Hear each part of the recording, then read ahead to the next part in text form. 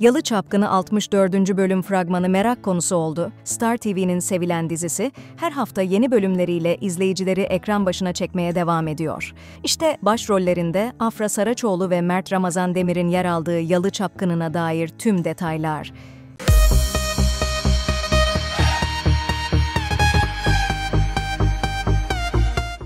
Yönetmenliğini Burcu Alptekin'in üstlendiği Yalı Çapkını'nın senaryosunu Mehmet Barış Günger kaleme alıyor. Afra Saraçoğlu, Mert Ramazan Demir ve Çetin Tekindor ve Binnur Kaya'nın başrolde olduğu dizide Şerif Sezer, Gülçin Santırcıoğlu, Gözde Kansu, Ersin Arıcı, Beril Pozam, Diren Polatoğulları, Taro Tekinemir gibi isimler de yer alıyor. Yalı Çapkını 64. bölüm henüz yayınlanmadı. İzleyiciler yeni bölümde yaşanacak gelişmeleri büyük bir merakla bekliyor. Peki son bölümde neler oldu? Ferit ve Seyran arasındaki buzlar erise de Seyran çözmeleri gereken problemler olduğunu söyler, Halis Ağa'nın Hattuç ile evleneceğini açıklaması evde bomba etkisi yaratırken ona en büyük destek torunu Ferit'ten gelir. Bu evlilik gerçekleşirse evdeki gücünü tamamen yitireceğini düşünen İfakat, kan donduran planları değerlendirmeye alır. Geçmişte yaşayamadıkları güzel günleri telafi etmek isteyen Halis Ağa ve Hattuç, evlilik sürecinde her şeyin usulüne göre hiçbir eksik olmadan ilerlemesini ister. Kazım ise halasının verdiği bu kararla neye uğradığını şaşırır. Seyran'ın kıymetini daha iyi anlayan Ferit, onu her konuda destekleyip etrafında pervane olur. Pelin ile Kaya arasında ise beklenmedik gelişmeler yaşanır. Nişan günü Hattuç'u Kazım'dan istemek Ferit'e düşerken Hattuç'un mehir olarak istediği şey herkesi şok eder. Başrol oyuncu Afra Saraçoğlu 1998 yılında Edremit'te doğdu.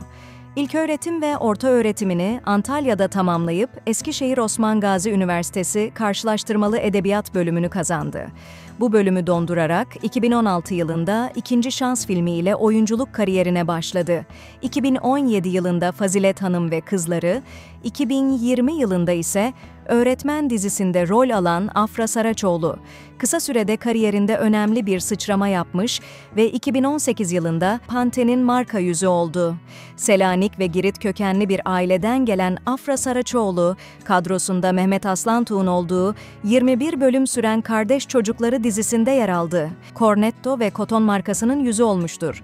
Afra Saraçoğlu asıl çıkışını ise 2023 yılında Yalı Çapkını dizisinde canlandırdığı Seyran karakteriyle yakaladı.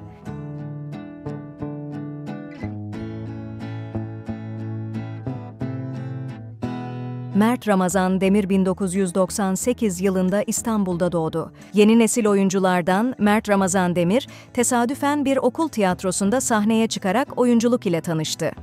Profesyonel oyunculuk için Diyalog Anlatım İletişim ve Michelle Danner Acting Studio kurumlarında eğitim alan oyuncu, çeşitli Türk filmlerinde küçük roller aldıktan sonra 2019'da I Am You adlı filmde Damla Sönmez, Cansu Tosun ile birlikte kamera karşısına geçti.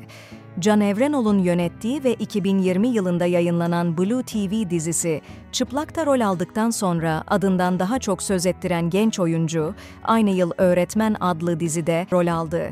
2022 yılına geldiğimizde ise Netflix yerli yapımlarından olan UFO adlı filmde İpek Filiz Yazıcı ile başrolleri paylaştı. Oyuncu Afra Saraçoğlu ile Yalı Çapkını adlı TV dizisinde rol almaya devam ediyor.